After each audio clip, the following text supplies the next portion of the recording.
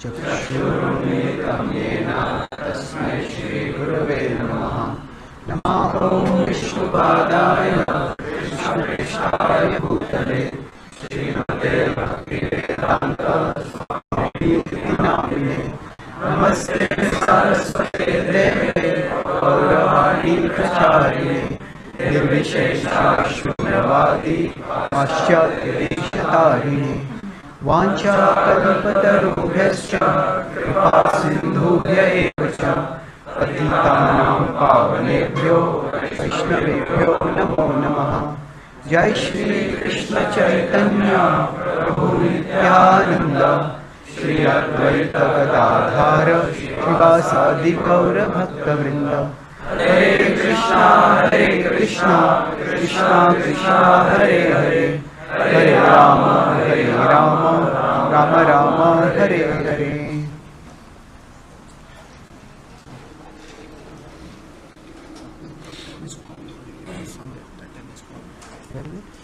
somewhere in the above guest room. I think someone by mistake took. Hare Krishna. So we continue our discussion on the Bhagavad Gita. Now, I mentioned that more or less by the end of the 10th chapter, the Bhagavad Gita itself, as Krishna's discourse was over. And thereafter, the Gita is driven by Arjuna's questions.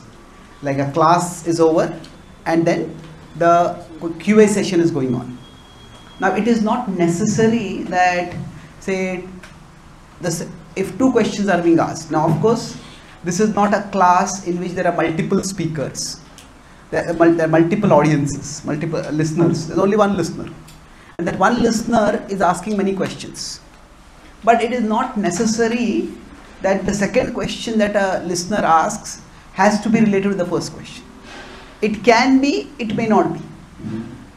So, the previous chapter was about what was the topic of the 11th chapter? Sorry? Yes, universal form, the Virata Rupa. Now, after describing this, Arjuna is a very dramatic form. And at the end of that dramatic form, what is Krishna uh, emphasizing? That this great, this, this form is wonderful, it's rare. But rarer still is my personal two handed form. So basically, there is Krishna has said that the there is a materially all pervading manifestation. All pervading means that it is present everywhere. So there is a materially all pervading manifestation. That is the Virata Rupa. And Krishna is saying that my two handed form is more special than that. So then Arjuna has the question that what about the relationship between that same two handed form and the spiritually all pervading manifestation? What is the spiritually all pervading manifestation? That is the Brahman. The Brahman is basically what is the Brahman? The Brahman, or specifically the Brahma Jyoti, is the ocean of endless light that pervades all of existence. And that comes from the form of the Lord, that comes from the person, Krishna. So, that Krishna will mention specifically later in Brahmano hi pratishtha. So that will come in the 14th chapter. But basically, there is this all pervading manifestation, which is the Brahman is spiritual, the Brahman is not material. The universal form, is it material or spiritual? Can anything be connected with Krishna be material? Well, see, it depends on how we are defining terms. There's material, spiritual. It can be defined in two broad ways. Hmm? One is by composition. Hmm. and the other is by connection. Connection, or you can say application. So, for example, Srila Prabhupada would say that the mic that we are using, when we are using it for Krishna's service, then it is being used for Krishna's service. Sorry. Okay, so make it white.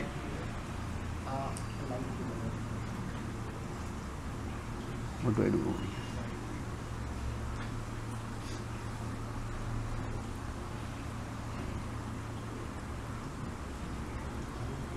This you should told me before.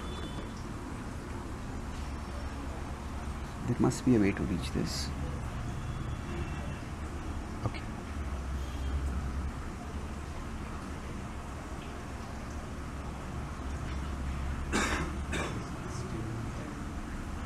Is better? Okay.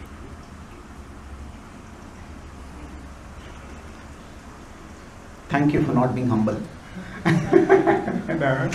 Once I was giving a class and I, I went on for almost 25 minutes in the class and I could notice that in the back everybody was looking blank. And even when there was some humor in the class, they just complete blank faces. And I asked, ah, what happened? They said, you know, the we can't hear you. then I said, why did you tell me? He said, we thought we should be humble and not disturb you. you know, if that is your definition of humble, then I have reason to grumble.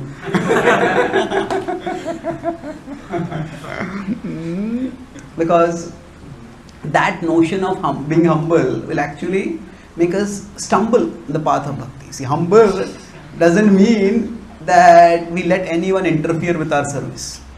That humble means that we don't let our ego come in the way of our service. Hmm. So, thank you for saying that. Maybe I'll keep the white always behind this class. So, anyway, so spiritual and material can be defined in two broad ways. One is in terms of application. Now, application, this mic is, if it is being used for Krishna's service, we can say it is spiritual. More precisely, it is spiritualized. But one characteristic of spiritual is that it is eternal. Is this mic eternal? No. No, not at all. It is temporary. So, in terms of composition, in terms of what it is made up of, it is material. But in terms of connection or application for what it is used, that is spiritual. Hmm. So, is prasad material or spiritual? And prasad is spiritual. But suppose somebody has diabetes and they take sweet rice, saying it is spiritual. Then what is happening is, when are they seeing it as prasad or are they seeing it as, you know, this is a tasty? If they are seeing it as prasad, well, even rice is prasad. Why do you want to take only sweet rice? So there is a material component and there be a material effect. Somebody who has diabetes, they take a lot of sweet rice. Even if they think it is prasad, it's going to cause a spike in their sugar levels. So, that, so in that sense, because it is the form of Krishna, it is a revelation by Krishna, we can call it spiritual. But at the same time, the entire components that are described over there, it describes the heads and the, the, the bodies of the various beings in the universe are described. Brahmaji is there, the serpents are there. All those beings that are described, they are material beings. I mean, they are material bodies of those beings that are described. So, in that sense, in the sense of composition, the universal form is made of material things. In fact, the universe itself is material. So, naturally, the, the, the universal form will also be material. So, it depends on how we are talking about it, from what perspective. So, yes, the universal form, from this particular perspective, in terms of composition, is material. The Brahman is all pervading, it is spiritual, it is also Satchitananda. So, now the question that Arjuna has is okay, what is the relationship between your material, your spiritually all pervading form and your personal form? Spiritually all pervading manifestation, we can say. It's not a form, but it's a feature. So, we, who are better? Those who are worshipping the impersonal or those who are worshipping the personal. So let's look at it. Arjun Uvacha Evam Satata Yuktaye एवं सततयुक्ताये So those who are constantly engaged. How? Tvam Paryupasate. भक्तास्त्वां परिभासते So those devotees who are constantly engaged in worshipping you. Hmm. As contrasted with them, ye chapya aksharam avyaktam. So akshara and avyakta, avyakta is unmanifested. That is the way of referring to that unmanifested reality is Bra- Brahman. Ye chapya aksharam avyaktam. ये चाप्यक्षरमव्यक्तम् Tesham among these two people, K who Yoga Vittamaha. So Vittamaha is best or better among these two who are better situated. Tesham ke yoga vittamaha. Tesham ke yoga vittamaha. So Arjuna knows that he is living at a time when there are many spiritualists and he has seen spiritualists who are devoted to the personal form and he has seen spiritualists, sages who are devoted to the who are dedicated to the impersonal. So asking Krishna, who among these are better? And the, the approach that Krishna takes is in one sense, it's a cyclic approach. Like you can take, when you go on a spiral, say sometimes you can go. This is A, A and B. So, but the spiral means first he gives the answer. First he emphasizes that the devoted are the best. Then he goes to those who are impersonalists, and then he comes back to the personalists. Hmm. So, in one sense, he goes on a cycle.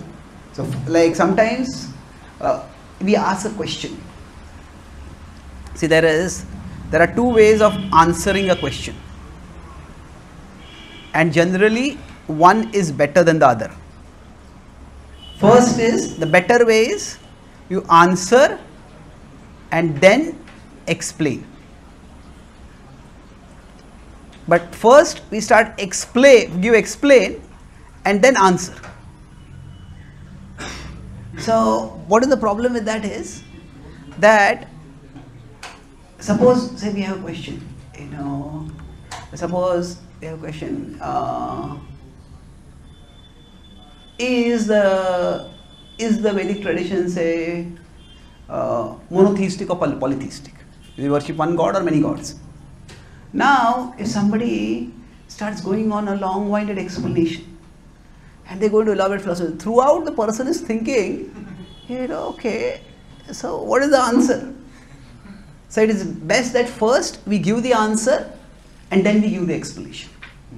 Now, of course, sometimes it might be better if the answer is going to be polarizing. That means, you know, the, if the answer is going to close the mind of the person, then it is better to give some contextualization. Then, build some backdrop and then give the answer. But for most times, if a person is just inquiring and they don't have any biases or anything, they just want to know, then it's best to give an answer first and then give an explanation of the answer. So that is what Krishna is doing over there. So we see that Krishna's expertise as a teacher. So 1, 12.1 is the question, and then 12.2 is immediately the answer, and 3 to 6 is the explanation of the answer. So answer and then explain. So what does Krishna say? Right in the beginning he says, those who are devoted to me are better. Now significantly he doesn't condemn or reject those who are not devoted to him. Those who are impersonalists, he says, te prapnuvanti mameva, they too will attain me. However, the problem, he says, is that this path is very difficult. So he talks about two things over here that the path itself is difficult and the progress on the path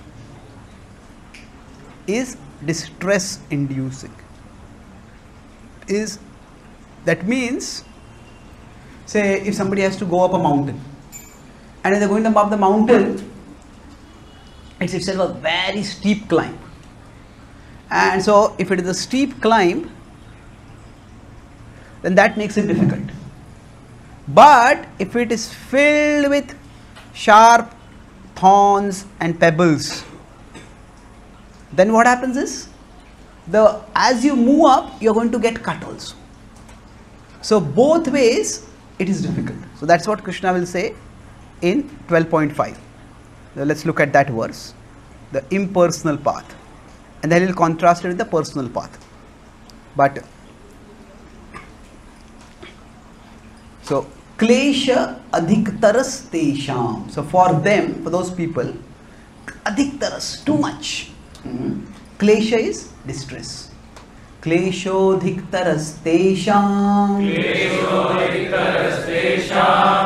अव्यक्त avyakta is the impersonal the unmanifest vyakta is that which is manifest avyakta is that which is not manifest avyakta asakta those who are attached to those who chetasam those consciousness is attached to the impersonal avyakta asakta chetasam चेतसाम् So he says, Avyakta hi gatir. Gati is progress. Gati can mean destination, gati can also mean progress. So progress toward the destination.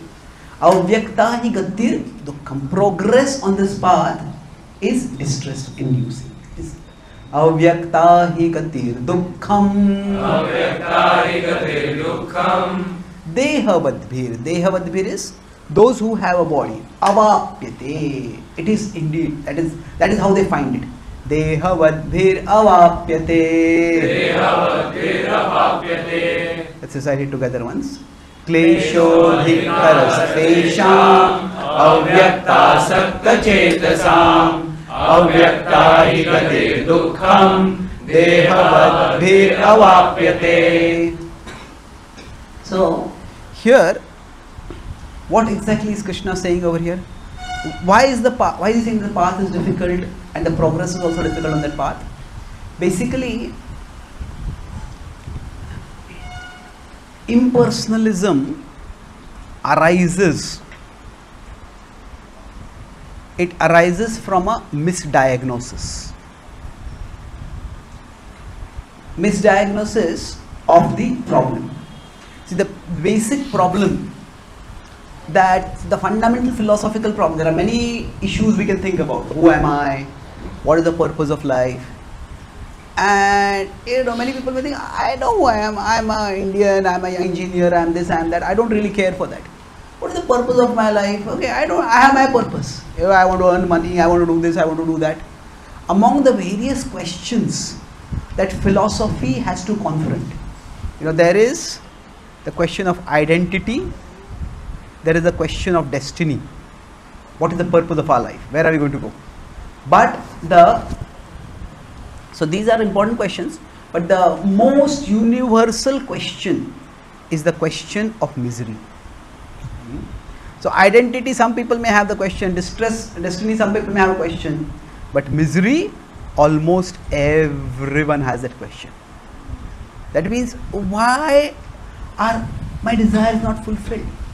Why am I unhappy? Why does unhappiness come upon in my life? So this is a universal question. In fact, if somebody does not re- realize the distress to some extent, at least in their life, then it's very difficult for people to even inquire about philosophy. Because if I feel life is just enjoyable, then why do I need to seek for any meaning? Isn't it? So generally, it is a question of misery that impels people towards philosophy. So, and now why is there distress?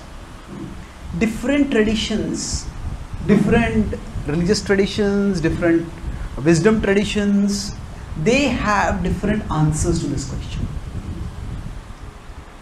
So, the cause of distress, what is its cause? That is the question. So, now, say if you look at the Christian tradition, they will say there is the original sin. Original sin means Adam sinned against God by eating the forbidden apple. Most of you know that story. So, and their idea is that from that original sin, sin is like a genetic defect that comes into all of humanity. We may not done anything wrong, but just by being born in the same succession from Adam, we are all contaminated by sin. So that is one understanding of the cause of distress. And then their solution comes up that somebody has to suffer for the sin. So Jesus has suffered for the sin and Jesus died for that. So then if we accept Jesus as the savior, then we will be freed from suffering. But then the issue comes up that you know why should we have to first of all suffer for some sin that somebody else did? Isn't it? somebody else did long, long ago. So I'm not going into a uh, elaborate uh, critique of Christian philosophy. I'm just giving you broadly an understanding of what is the cause of suffering. Now, impersonalism, impersonalism has the idea that that desire itself is the cause of suffering. That why do we suffer?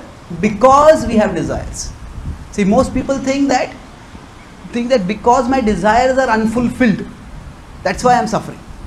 You know, I wanted to get uh, I wanted to get come first in my class. I wanted to earn this much money. I wanted to win this competition. You know, I wanted to have this woman as my wife. So many things like that, and it didn't work out. So there's distress.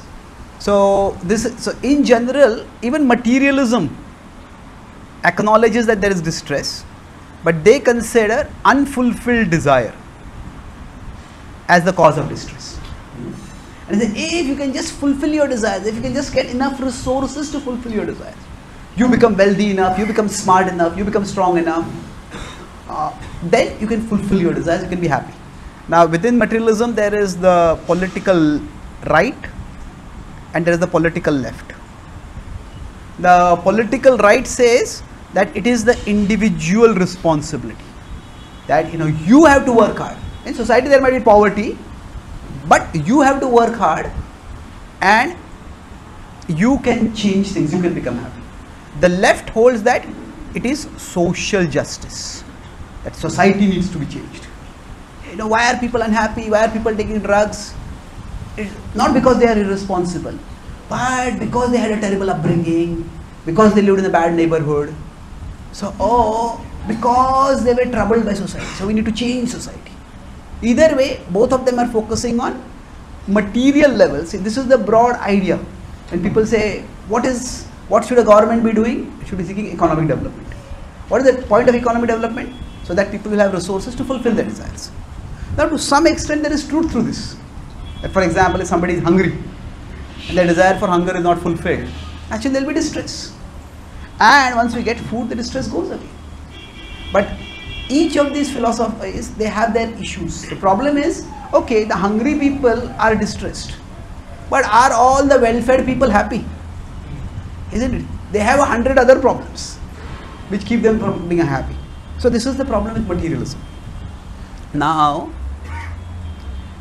impersonalism holds that desire itself is the problem.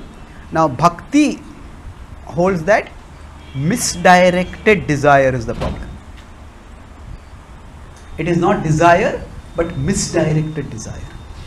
That now, what, let's try to understand the difference between these two. So, we are not going to into the Christian or Abrahamic religions. We are focused because the topic is personalism and impersonalism. So, bhakti is broadly the same as personalist worldview. Bhakti means we accept that God is a person. So, say somebody is sick and is in pain. Now, what happens is maybe they have sick, maybe they have something like arthritis. And any movement, ah, you move your hand, it causes some pain. Yeah, move your legs, it causes pain. You cough, it causes pain. Sometimes you go to a sick person and you make a joke, they laugh and they feel pain. You know, even laughing is painful. So it's a terrible situation to be.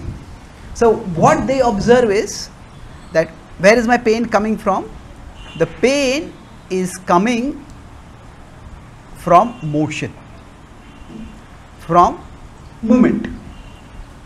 So now their solution is suppose the patient says that if I just become motionless, then I can become painless. Now, is that true? Well, partially yes, isn't it? If you give up motion, you will become free from pain. But the point is, how long can somebody just stay motionless? Hmm? The after you become free from pain, then you want, then the sick person will want to move, want to do things, isn't it? So the problem is not the so while it appears that it is motion that is causing the pain, but underlying then there is a disease. Let's say arthritis. So it is because the disease is there, that's why when the disease condition there is motion, then the motion causes pain. Now, if somebody becomes disease free,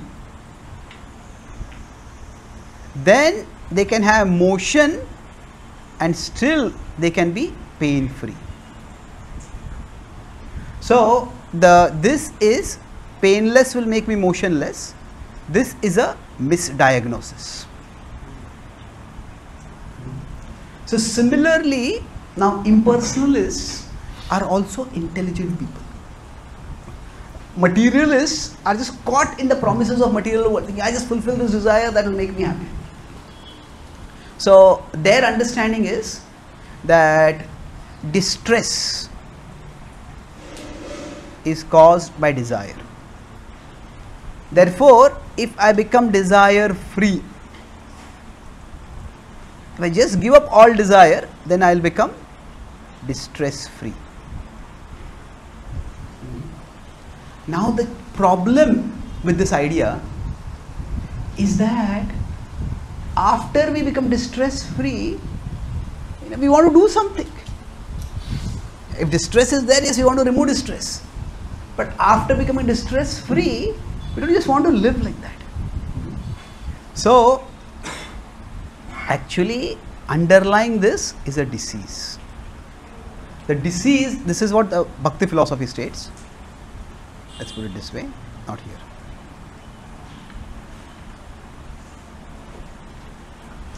Disease. That disease is disconnection from Krishna.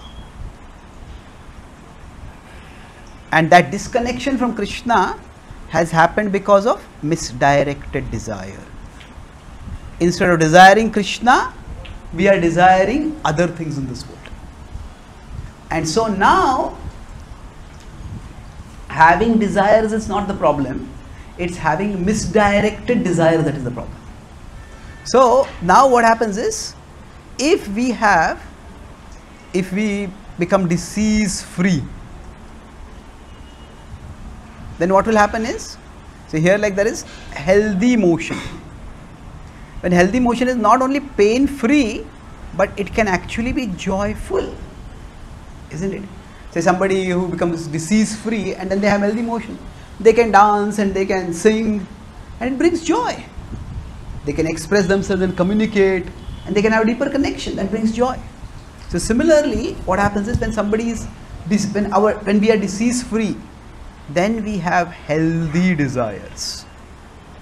The desires to love and serve Krishna, the desire to use what we have in Krishna's service. And those healthy desires, they will keep us distress free. Those desires will not cause us distress. Rather, they will, be, they will make us joyful when we desire to serve Krishna, this theme will come later in the Bhagavad Gita. That, but let's uh, focus, let's elaborate on this just now to make this clear. That see what happens is, if we are here, now here there is the spiritual world, and here there is the spiritual level of reality. There is this Krishna. Now, when we desire Krishna and then we desire things for Krishna.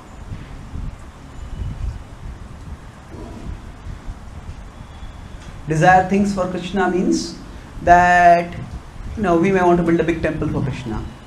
If we have a home, we may desire I want to have a comfortable home so that I can have Krishna nice altar and then I can invite people and have programs in my home.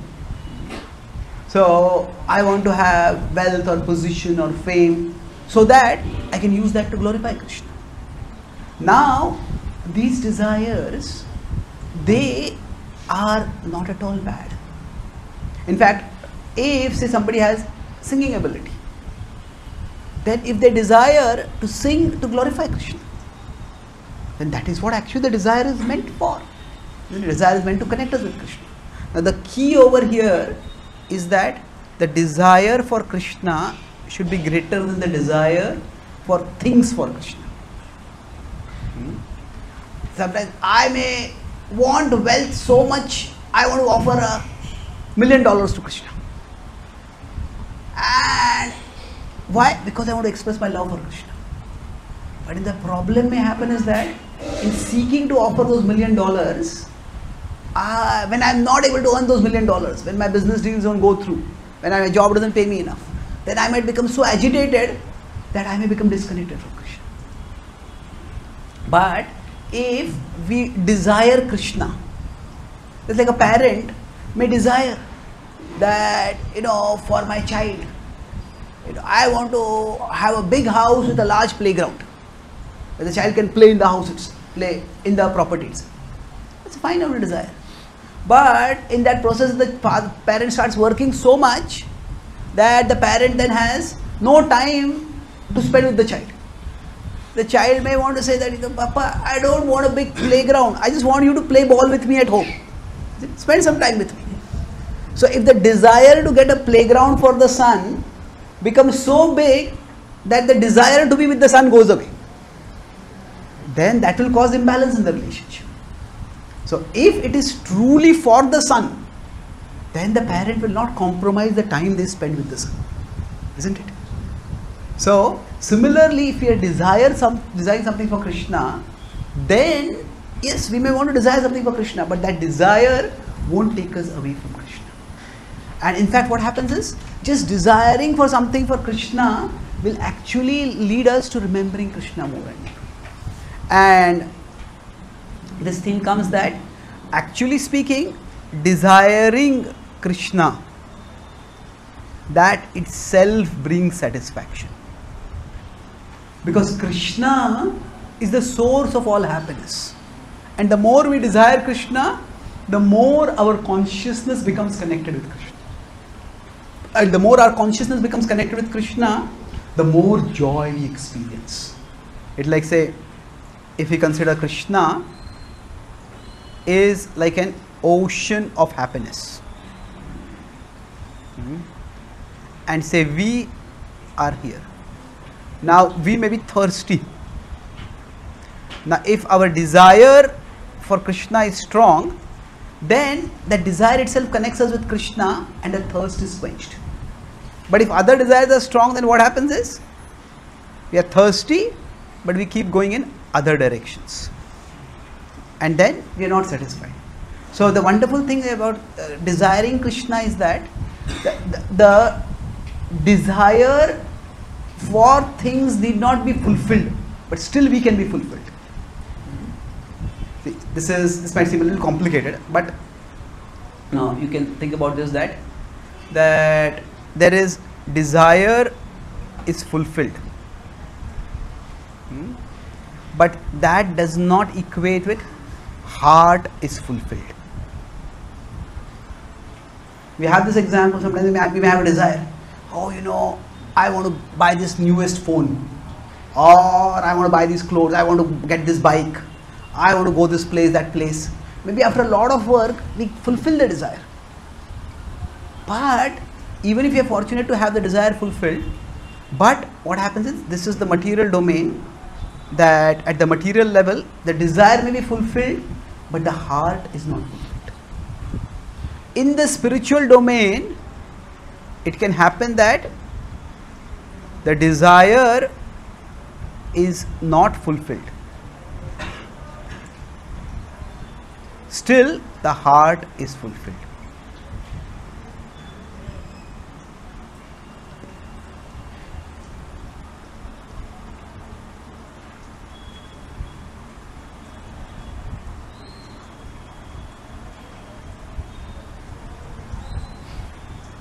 So, because what happens is that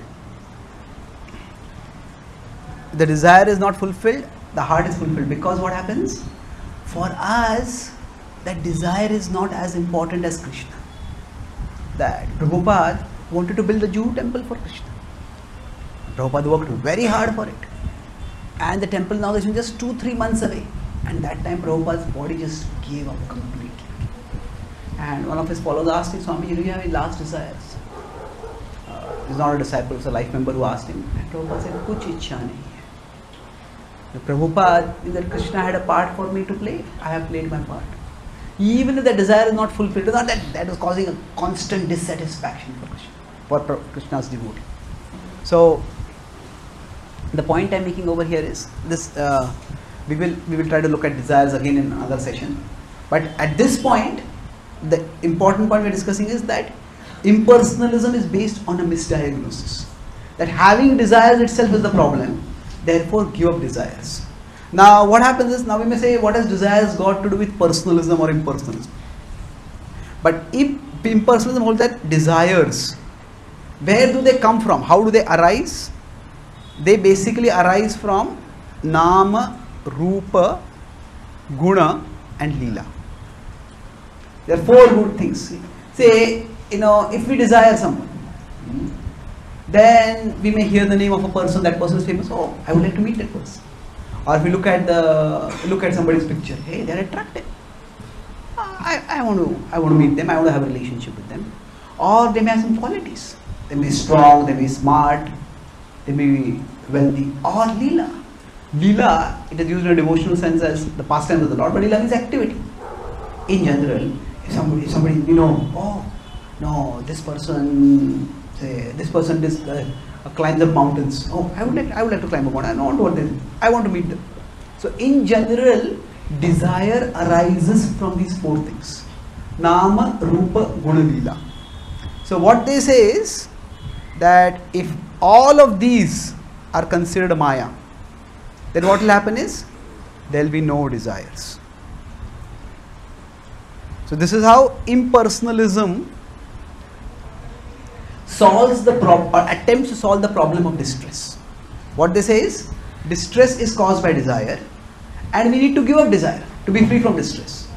But then desires naturally come when we see things.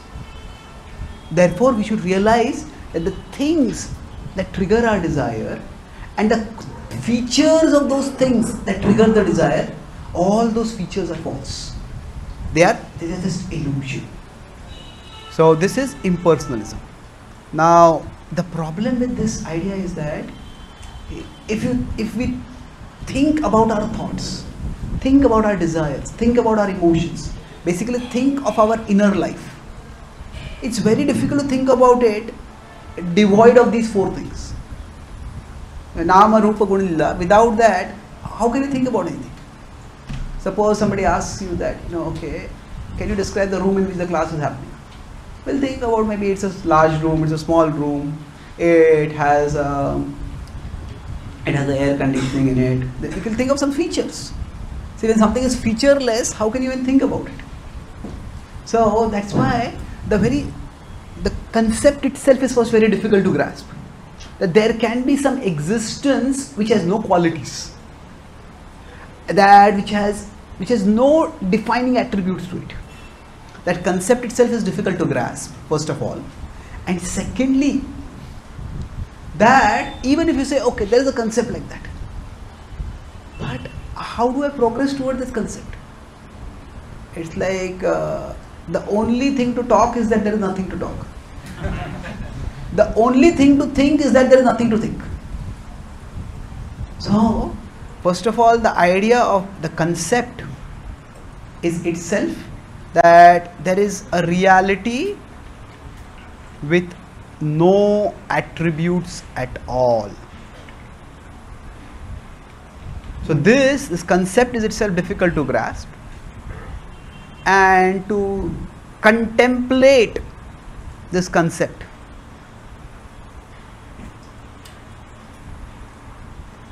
it is actually distress inducing it's like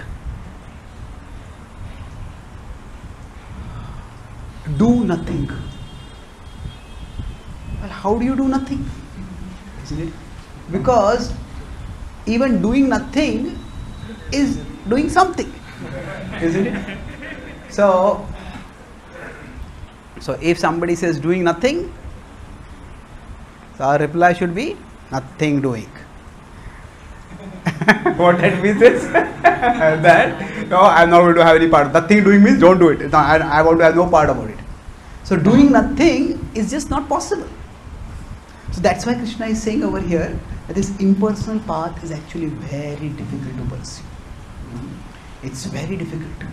So in contrast, he says that if you try to become devoted to me, then I will elevate you.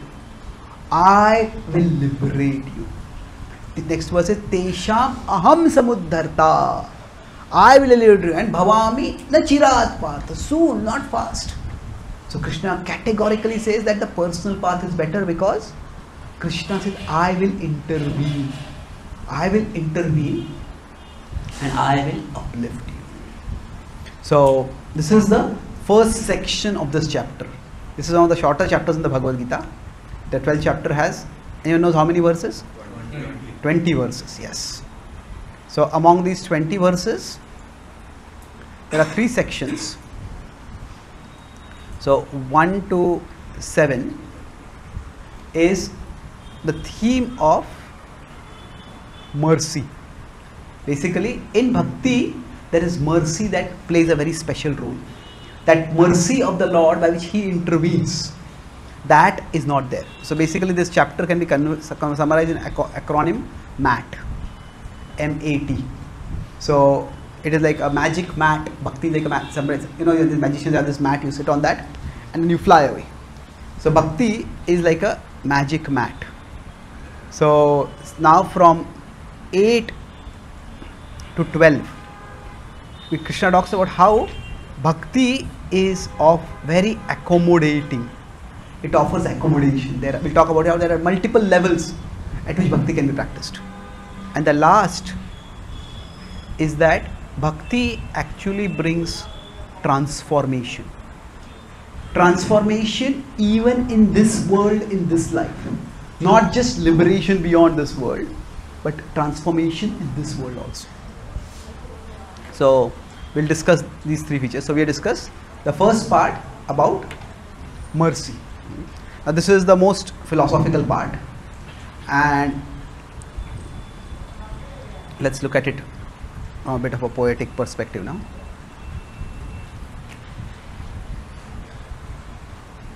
So, among the two, those who seek you as the supreme person with devotion, and those, see, those who seek the unending impersonal right through meditation, who, O Krishna, is better united with you? Those devoted to me are closer, that's my view. Those who pursue the impersonal also reach me in that manifestation. But difficult is their path and distress filled is their progression. From the ocean of death, I deliver swiftly all those who offer their hearts to me steadily. Tesham aham samudharta.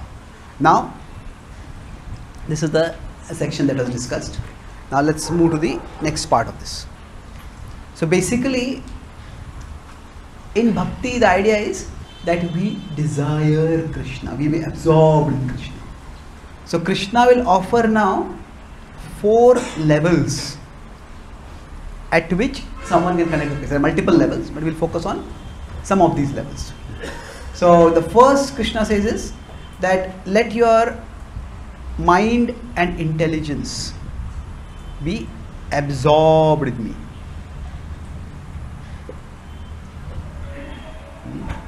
Now, absorbed means it's natural, it's completely immersed. But if that is not, this is Krishna says 12.8. If you do this, you will you are already living in me, Krishna says. That it's not that you will attain me in the future, you are already attaining me. Now, if somebody says that, oh, you know, constantly thinking about Krishna, that's not possible. So then Krishna says, is try to make your mind fixed. So this is intentional. The mind will go away, but you fix it. Now, that is what this is where basically the sadhana bhakti. That's what we're doing. So, for example, when we are chanting the holy names, when we are hearing classes, when we are doing puja, what are we doing? We're trying to fix the mind in Krishna. Now, somebody say, okay, I can't do this also. Then Krishna says, work for me. Work for me basically is do seva. So, in many ways, offering Krishna the external is actually easier than offering Krishna the internal. That, okay, I may not be able to think of Krishna, but still I can come to a temple and maybe serve some prasad or distribute some pamphlets or do some service. You know, we are organizing, a festival, set up this pandal, do this, do that. Doing seva is much easier. Work for me, Krishna says. So this is 12.10. Now, if somebody says, I can't do this also, then Krishna says, work for some higher cause. That means just try to cultivate some level of selflessness. And Krishna says, by this also you will become gradually elevated. So, Krishna is in one sense offering multiple levels. Anybody can cultivate a little bit of selflessness. Somebody may say, okay, you know, I don't like to go to temple and uh, and distribute prasad over there. Okay, then if you see somebody hungry, just give them a little food. So work for some higher cause, something beyond selfishness. What will happen by this? Gradually, our consciousness will start expanding, and ultimately, by this, we will come to Krishna. So Krishna's mood over here is so accommodating. See, sometimes the idea is that it's like my way or the you have heard this highway. Highway means what? Get out. You work according to my plan or you're on the roads. So there are some religious traditions also who are like that. It say that you have to believe that this person is the savior. If you don't believe this person is the savior, then you're going to go to hell. So it's literally like that, my way or the highway. But Krishna is saying that there are actually many ways, or rather, many levels. If you can't do this, do this. If you can't do this, do this. So Krishna is accommodating. So Krishna is, in one sense, his mood can be said over here from your place, at your pace, access my grace. From your place, at your pace, access my grace. So, what we what is say for example, Srila Prabhupada, you know, he wanted to focus on sharing Krishna Bhakti, but then Prabhupada also started a food for life program. And he said that, okay, at least give food to people, you try to give prasad. People may not be able to come to the uh, temple and chant Hare Krishna, but at least they can get some prasad. So that you give people multiple ways at, which, at which they can connect with. So that should be our mood. That is the mood of the Lord. So bhakti in that sense is very accommodating. There are multiple levels at which one can connect with the Lord. And during Srila Prabhupada, uh, so uh, the idea here is that Krishna just wants us to connect with Him at some level or the other. If not this, this. If not this, this, this. Like that, this Krishna is actually very accommodating. And this understanding of bhakti is now this does not mean that all the levels are the same. That's a different idea. Isn't it? That is that is a very superficial notion that all paths lead to the same goal. That's not what Krishna is saying. We'll talk about Krishna is not talking about paths so much, he's talking about levels. ultimately to attain Krishna, but there are different levels at which you can connect with Him. So, it's uh, one way to put it is that it's like say somebody is here and somebody wants to go to the top.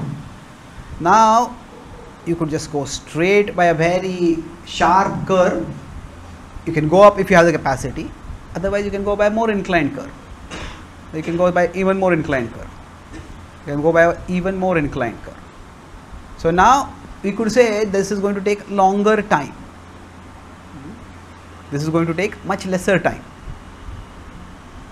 If somebody wants to rise to the spiritual level where Krishna is present, to Krishna. So each of these will take different levels. So it's not exactly the same. But the idea is from your place. So wherever you are at, at your pace means you can go very fast up, you can go slowly up. But try but stay connected with me. Stay connected with me and keep rising upwards. So the eighth verse, ninth, tenth, and eleventh. These are basically describing different ways at diff- uh, or other different levels at which you can connect with Krishna. So ultimately, we need to offer our heart to Krishna, and that Krishna will. Krishna wants us to do that, and Krishna will help us do that. But it will happen incrementally. It's not that Krishna says, if you're not going to do this, then get out, get lost. Not like that. So in Krishna's path, Krishna never says, get lost. That is never says. Krishna says, anyone who says, get lost, get lost, you know, you have no place in my my path. You know, Krishna says to them, you get lost. The idea is that everybody has a place in Krishna's journey, in Krishna's map, in Krishna's plan, in Krishna's accommodation, accommodating arrangement. Now, what that place will be, that will, dif- will differ. Now, this doesn't mean that anybody can do anything and still they can be considered devotees. That is not the point over here. Hmm? Uh, we will talk about this in the next section.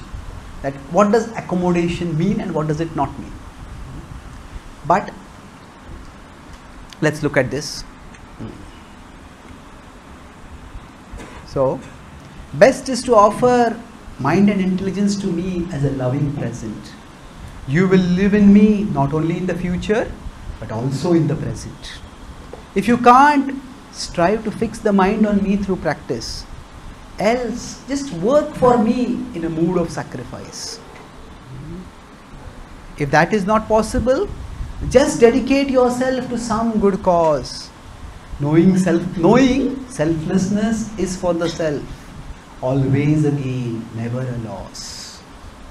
So when we become selfless, actually we grow. We may be giving things externally, but our heart becomes enriched because we are growing in our consciousness, we are going closer to a higher reality. So this is how Krishna accommodates. Now after this, in the third section, Krishna talks about the qualities that endear a devotee to.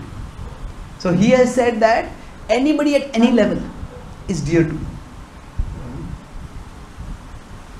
Now, having said that, the question comes that if we consider a graph, there is devotion, that is the uh, being attracted to Krishna, being dedicated to Krishna, and then there are virtues. Virtues means good qualities.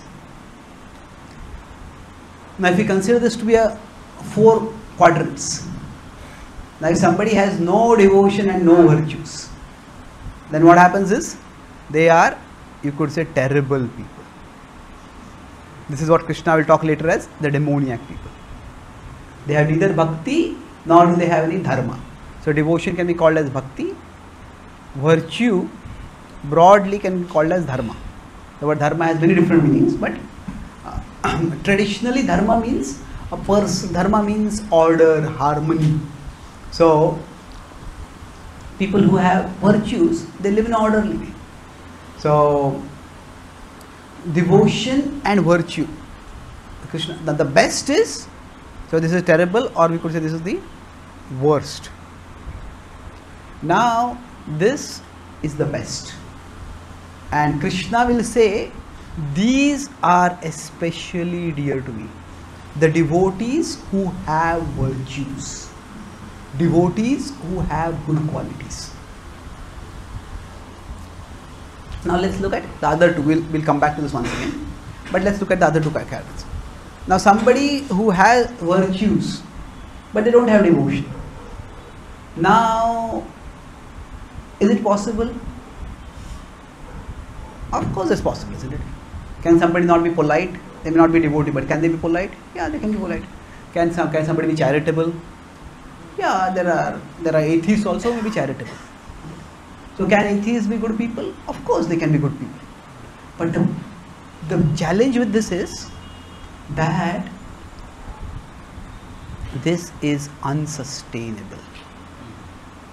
So atheists may be good people, but they are good people not because of their atheism. It is in spite of their atheism. That there is nothing in the atheistic worldview to make a person a good person. So atheism means okay, there is no governing reality, there is no ultimate reality. Then what is the idea? Then this life is all that we have, and the pleasures of this world is all that are actually enjoyable. Then if that is the case, then if I want pleasure and somebody is coming in the way of my pleasure, if I have the power to eliminate that person, then why not do it? So now that doesn't mean all atheists will do it. But the point is, if they don't do it, it is not because of the atheistic world. It is basically because they had some good upbringing, maybe they had some, some scars from their previous lives. It could be because of various factors. So atheists, if they are good people, it is not because of atheism, it is in spite of atheism.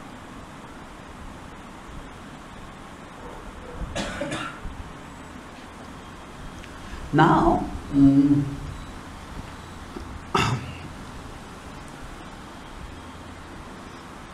the problem, however, is that now you could say, in some ways, people who have devotion but they don't have virtues, they are often the most problematic people. Why most problematic? In one sense, you can say devotion does good in the other world. In the sense that if you are devoted, we will go to Krishna. But virtues are needed for good in this world. Say, if somebody doesn't follow the traffic rules, they will be devoted. Somebody will be chanting Hare Krishna, but if they are not following traffic rules, then they are going to disrupt the traffic. They may cause an accident which hurts others, which hurt themselves. So somebody has to. Oh, they, if they are following rules, then they help in bringing about order in this world. So best is that we live in such a way that we contribute to the order in this world, and we also seek a destination in the other world. Now, what happens if somebody is somebody is a devotee? That means they want to worship Krishna, they want to love Krishna, but they don't have virtues. Then what happens? They are, they are. It depends on the category of people, and Krishna will towards the end say that if somebody is just devoted to me, somebody just that somebody just wants to stay fixed in me, then they are dear to me also. So Krishna doesn't reject these people. Krishna accepts everyone with devotion. So, but there- is accepting and there is appreciating. Hmm? So, so it's like these are people who are assets for Krishna. These are people who are liabilities for Krishna. now, Krishna accepts them. That is his love. That is Krishna's love. But now, why are they liabilities? Say, you know, if somebody who claims to represent God, somebody is a devotee, and they're very rude, they're very arrogant. then what is going to happen? They are going to alienate people. I think I mentioned this when I was in Mayapur. I was in Texas. Texas is a part of the evangelical belt. Evangelical belt is. How many of you were there when I spoke this point about Texas? Okay. Was it Bhagavatam? Okay. Okay.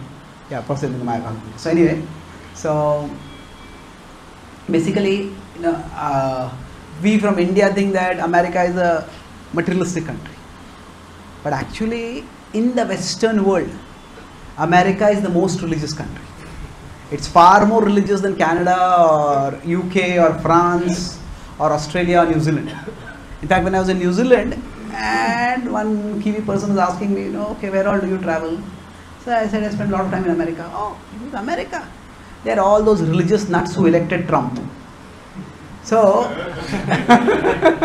so there, America, especially the southern part of America and the central part of America, it's quite evangelical and Christian as compared. So, our perception of America mostly comes from Hollywood, which is mostly the coastal part of America. So, America is almost like two countries. But the point over here is in many of these Christians, not all of them, but many of them are they're evangelical means they're very pushy. So they try to push their religion on everyone else. And then so I was in Texas and I uh, there was a I was going for a program. There's a car in front of me, and in that car there's a there's a bumper sticker or a bump, and there's a quote over there. It says, "Oh God, please save me from your preachers." so normally God saves us through his preachers. Is it they give God's message? But the idea is these preachers are so troublesome, so imposing, so disagreeable, so arrogant. I don't want anything to do with me. So God, my prayer is to you is please keep these preachers away from me.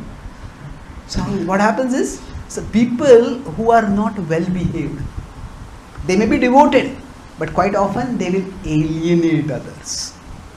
They will, uh, seeing them, people will think, I don't want to become like this. And if devotees are like this, then I don't want to be like this. So that is now see, if you see Krishna's concern in the Bhagavad Gita is also to establish order in this world. Dharma samsthapanarthaya sambhavami yuge yuge. So therefore Krishna needs in his mission devotees with virtues. Devotees with virtues. So the qualities that Krishna is talking about over here, these qualities are not so much devotional qualities as they are behavioral qualities. So, what does it mean devotional qualities? Krishna is not saying over here, though who are dear to me, those who wake up in the early in the morning and come for Mangalarti, those who chant 16 rounds, or those who worship the deities, those who fast on Ekadashi. These are good things, they are important things, no doubt. But is it the world doesn't care? World, world doesn't care what we believe. One of the the modern attitude towards religion that is can be summarized in one sense. Don't tell me what you believe. You know, everybody has their own belief systems, and everybody tries to prove that their belief system is the highest. Don't tell me what you believe, rather, show me how you behave. Show me how you behave. That is much, much more important. That's why Srila Prabhupada, once when he was asked by a journalist that how do we know your followers? And Prabhupada said that they are perfect gentlemen and ladies. That means they are well behaved. So being well behaved is not just a trivial matter. It's an important matter. So most people they can't perceive our transcendence. Isn't it? How much devotion somebody has for Krishna, people can't perceive that. But what people perceive is that how well behaved are you? And you know those who have some Hindutva inclinations, many people are concerned that say people are many people are converting to Christianity, and is that a concern here also? Is it a part of the discussion? Like uh, Ghar Wapsi kind of Andolan and all those people do that. So now the idea is that there are many reasons for this. But, uh, but one reason, we can't blame Christians from being missionaries and trying to convert. They are doing what they believe is the right thing. They are sharing the message of Christianity. But one key factor often is that, you know, many Christian priests, they are very well behaved. In contrast, many Hindu priests are very judgmental. "ए, कौन सी जाति से हो तुम ये जाति से हो, मुझे छूना नहीं मुझे Eh, so I was in uh, Don't Touch Me. I was in uh, and I was you were talking tonight at Raurkela, a huge talk. Several thousand students were there. So after that, I was in nearby guest room, and then the students came to meet me. And one of the boys he was talking with me. He says, you know that he was telling me his experience. No, actually before that, what happened was there were several boys were talking with me, and then one boy was standing outside, and I could see he was having questions, but he was not coming into the room. I said, "Do you have some questions?" He said, "Yes." He said, "Come in." And then he looked, he looked at me, he looked around. The boys looked at me, and then one of the boys then came told me that you know he he is from a village and he is from the untouchable caste. I said, "Who cares?" I said.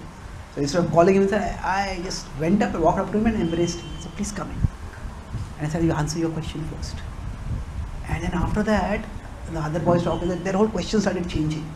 And one of the boys he said that, you know, when we come to Jagannath temple, it's like all the pandas, they are asking for money, they are asking for money, they are asking for money. They are not interested in us, they are only interested in our money. But he said, I I wanted to study the Bible. I wrote a letter and after I wrote a letter, actually one Christian came personally to my home to deliver me the Bible. And he talked with me so nicely. And then when I expressed some interest, then the he arranged that when I went to the church for the first time, the head of the church, that the bishop, he personally met me and spent, spent time with me. So he says, in which Indian temple if you go to, the Mathadipati will come and meet you. So what happens is, people want to feel a sense of connection. People want a sense of feel a sense of belonging. And if we don't offer them that, people are going to go where they get it. So behavior is important. Now they, I'm not saying here entirely that all Christians are well behaved, nor I will say that all Hindu priests are ill behaved. Now there are I have met many many Hindu priests and Hindu teachers also who are very well behaved, who are very saintly, very kind, very helpful, very warm. But I'm just giving this as an example to illustrate at the ground level in this world that the Vedic teachings may be far more comprehensive than the Christian teachings. But most people do not join a religion or an organization or a path because of how excellent its philosophy is. Most people join in for many other factors. And one of the factors is how, how they are welcomed, how they are valued, how they are treated. So this point Krishna is saying that our behavior is very important. So Krishna is saying that when we learn to behave properly, the whole list of qualities is focused on Krishna says that one who is kind to everyone, one who does not hold any enmity towards anyone. In fact, one key verse Krishna says is that Yasma, let's recite this verse and we'll conclude with this. This is the 15th verse. Yasman means by whom. Na udvijate loko. By whom people are not disturbed. Yasmano dvijate loko. यस्मान्नो द्विजते लोको And lokan, by people, na udvijate, is not disturbed. Chayah, that's, that's such a person.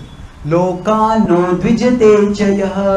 लोकान्नो द्विजते च यः then har, then the various disturbances are described harsha amarsha bhayo dvegair harsha is jubilation when somebody listens to me somebody agrees with me somebody does what i'm saying i feel so powerful i feel so happy if some, nobody listens to me but the person doesn't agree with me amarsha Hmm? and If say somebody makes an argument that I can't refute, then what happens I become insecure, I become fearful.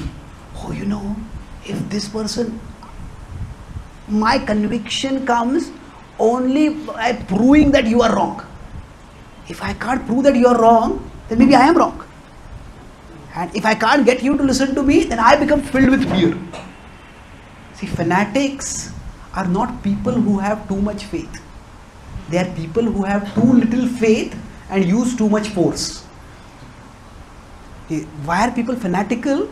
Because if you don't agree with me, then your very existence is a threat to my belief system. So, so it's not that too much faith is not so much of a problem. It is too little faith with too much force. So this bhaya, this bhaya comes what? In one sense, faith can never be too much. Faith is always a good thing. Of course, blind faith is not a good thing, but it is fanatics are characterized by too little faith and too much force. So that that is a key characteristic of fanatics. So the bhaya, if I start feeling insecure just because I can't convince anyone, then what will happen is I'll become very aggressive toward that person. Harsha, Marsha, Bhayo, Dvegair. Okay, sorry. So the Udvega is agitation. So Harsha, Marsha, Bhayo, Dvegair. Mukto. Krishna says one who is free from all these disturbances. यह सच में प्रिय। Such a person is dear to me मुक्तो यह सच में प्रिय। मुक्तो यह सच में प्रिय। So let's recite it together यस्मानो द्विजते लोको लोकानो द्विजते जया। हर्षामर्ष भयो द्वेगे मुक्तो यह सच में प्रिय। So now here the key point is the nature of life is that when two people are in a relationship, what will happen is I will disturb you and you will disturb me. That is just natural because you know I will do something which you don't like, and you will do some things which I won't like.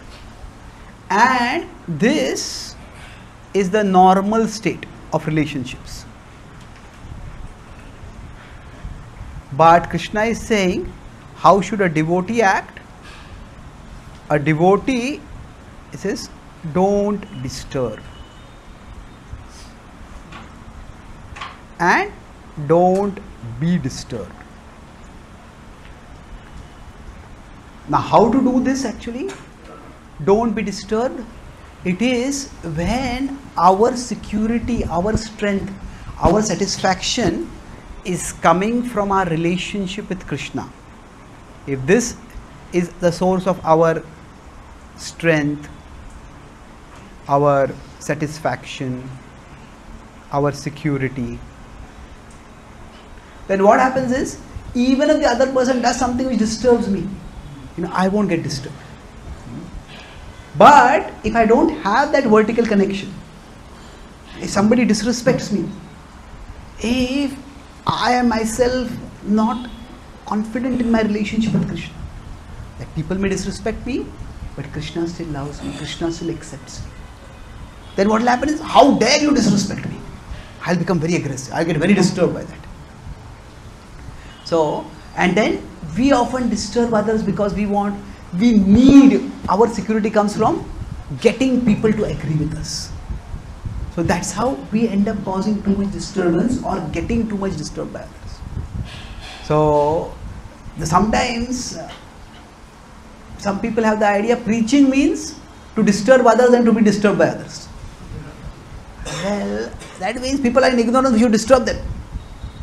And seeing how much people are in ignorance, we should get disturbed. Well, that's one aspect, you know, that's a very small aspect. We should not be disturbed, we should be concerned.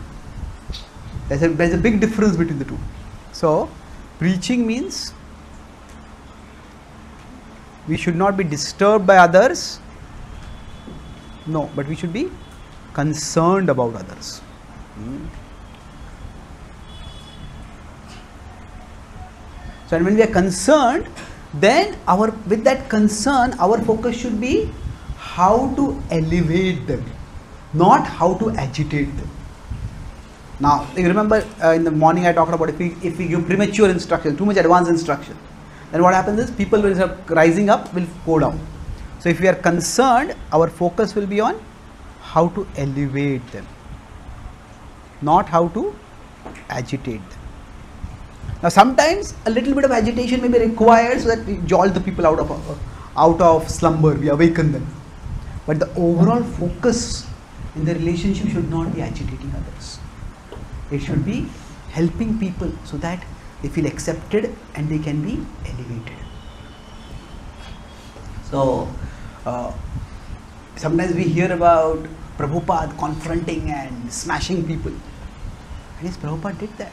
But if you hear Prabhupada's memories, that means the devotees who have remembered Prabhupada, we will find that what they remember the most is not how Prabhupada called this people a fool and called that person rascal. What they remember about, what they treasure really about Prabhupada is, in their personal memories, is how Prabhupada was so warm, how he was so loving, how he was so kind. That's what they treasure. So it's important that we have this understanding. Krishna says that when we are when we are kind, we are helpful, when we are elevating to others, such a devotee is dear to him. So Krishna will go on in this series, and finally he will say that if we are to be undisturbed, that means we are we stay fixed among dualities, honor, dishonor, and gain, loss, and ultimately we stay connected with Him. If you are connected with Him, Krishna says, just that connection will mean that you are dear to me. But if that connection is with virtue, then you become even more dear to me.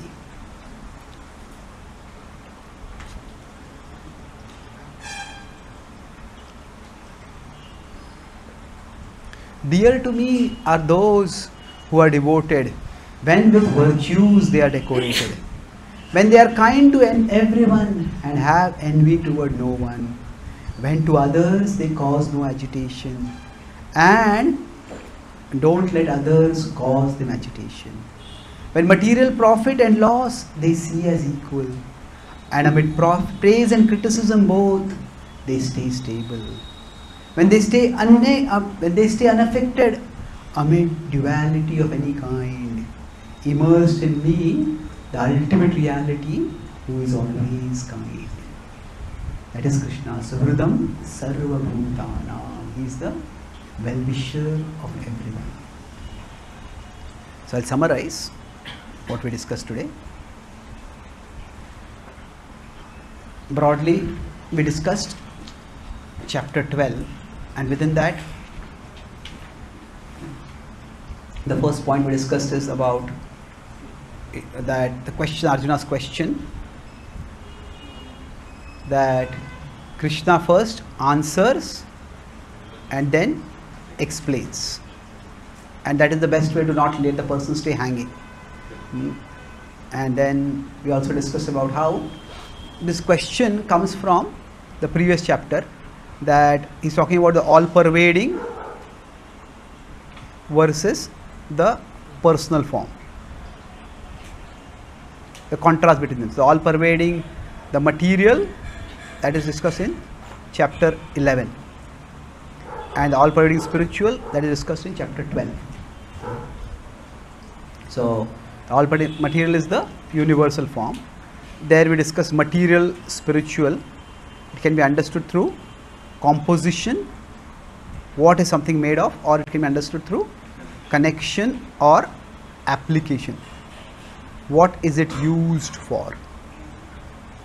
Then after that we discussed about the whole concept of impersonalism. So impersonalism is based on a misdiagnosis. So the cause of distress different philosophies have different ideas the christian worldview holds that it is it is the original sin that is the cause of distress materialism holds that it's unfulfilled desire then impersonalism holds that it is desire itself And the bhakti tradition personalists hold that it is Misdirected. misdirected desire. So we discussed how uh, the patient of the the example of the arthritis patient. He thinks that the motion is the cause of pain, but the motion is not the cause of pain. What is it? It's a disease. So it is not desire that is the cause of pain, it is misdirected desire that is the cause of pain. And we discussed the difference between that that when there is at the material level versus at the spiritual level. Material level what happens is it's like desire is fulfilled but still heart is not fulfilled. Hmm. But at the spiritual level, the desire may not be fulfilled.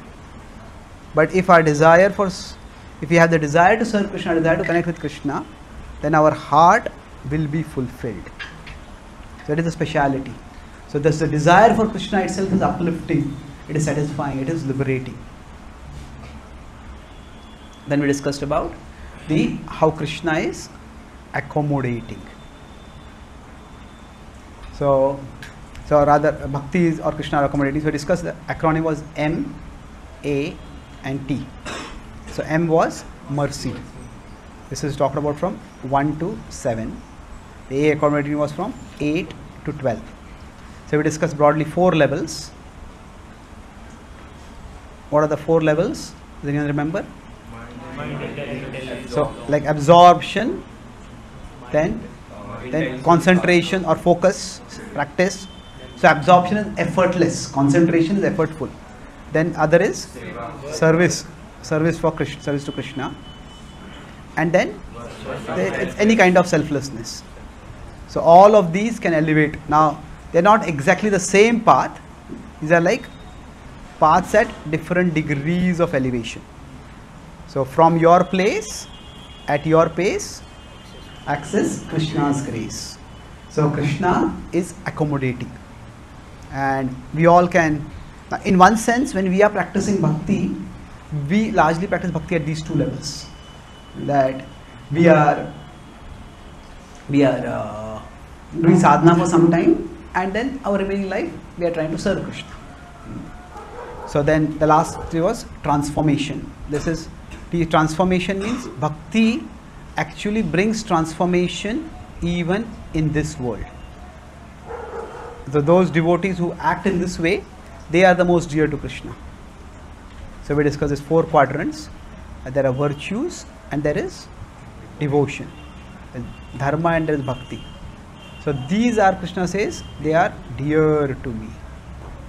These are the people who are assets to Krishna. The those who have devotion but not virtue, they are liabilities. Often because of them, people go away from Krishna. Krishna doesn't tell them to go away. Krishna accommodates them. That is his kindness. Now these are in one sense the worst because they are they often become demoniac. And those who have they're good. This is unsustainable. There's nothing in the world view to do that. Keep it for them. And then we we discuss how when we are practicing bhakti, what people see is not what is what people see is not what we are believing, but how we are behaving. And the more we can cultivate sadachar, good behavior, then we will find that people will be attracted. And the idea, and then lastly, we discuss this point of how to behave properly. It's important that in our interactions with others, we be strongly connected with Krishna.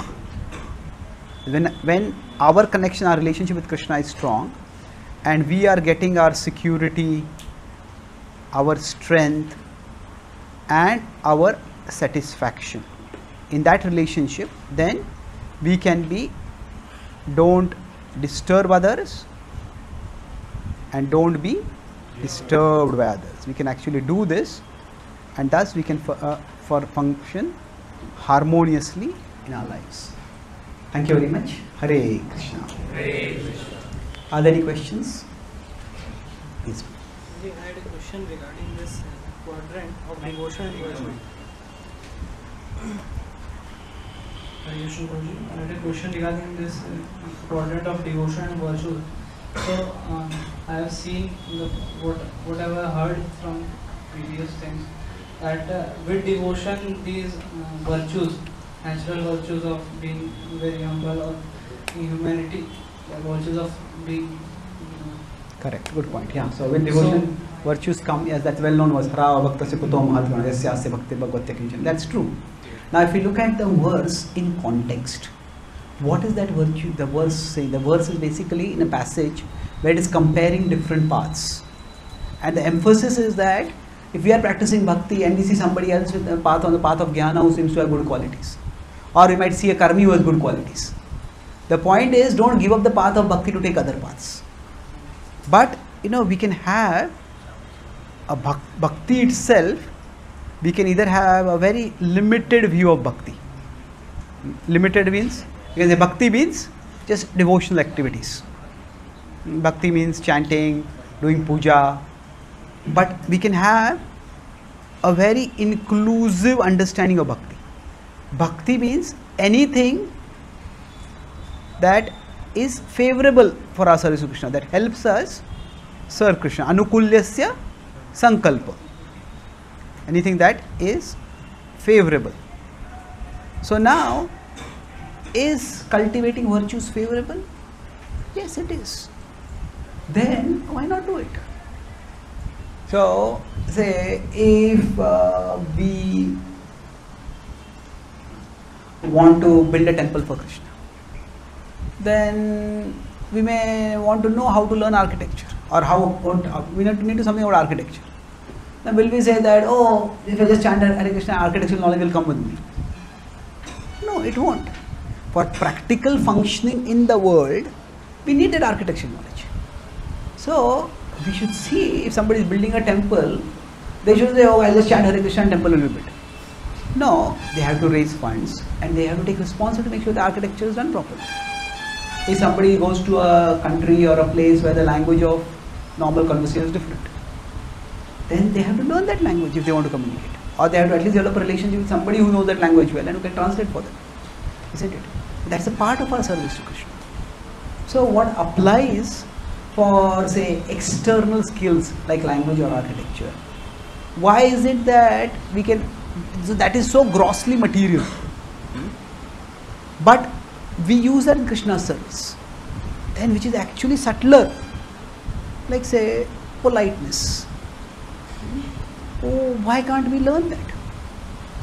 So, I say that we don't limit bhakti we have a very inclusive understanding of bhakti when it comes to things. Things can be used in Krishna service. So if my intent is good, eh, I may learn how to operate a camera. I may learn how to use a tablet, how to make a PowerPoint. So that I can do for bhakti. But how to become a little more humble? No, I'll just chant Hare Krishna and I'll become humble. Why then? Eh, why why do we say that? Isn't it? So why limit bhakti that way? Bhakti means anything that enables us to serve Krishna better. So we do that. So what is what is being said in those verses is that don't give up bhakti just to develop some virtues. Don't don't think that the path of bhakti is inadequate just because you see virtues in some other people who are not practicing bhakti. The point is yes, that those virtues will manifest in a devotee but if those virtues are specifically required for our service, then what's wrong in focusing some effort in developing them? That's just a part of our. That's a part of our bhakti. Okay, so thank you for this. Prabhuji, can we say that uh, for uh, one who aspires to be go very high in devotional service, uh, one must need to cultivate virtues? Um, Because I have seen the, the I went from I would say that yes, uh, one who wishes to go very high in bhakti, that is also required, and especially one who wants to serve Krishna in this world.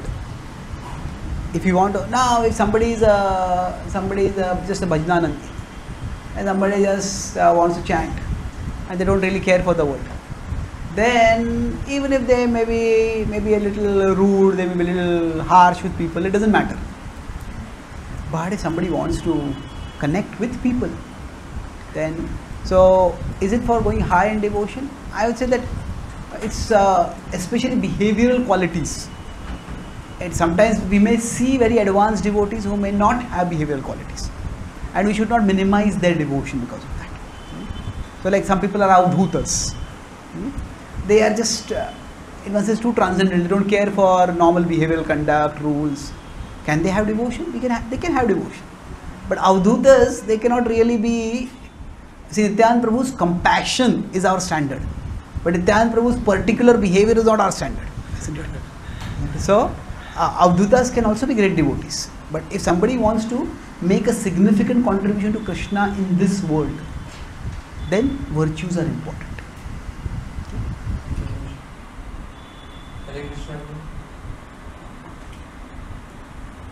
I have a question on Karma Yoga. Yeah. Can we come to Karma Yoga later? Because we are going to discuss that right now. Going Bhakti Yoga.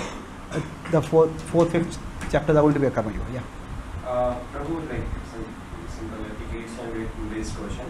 Like uh, generally, uh, when we are doing the devotional service, it's for Krishna. But when we do our uh, general activities as a student, uh, like studying, etc., it's for the purpose, other purposes, like which may be material, like placements or something.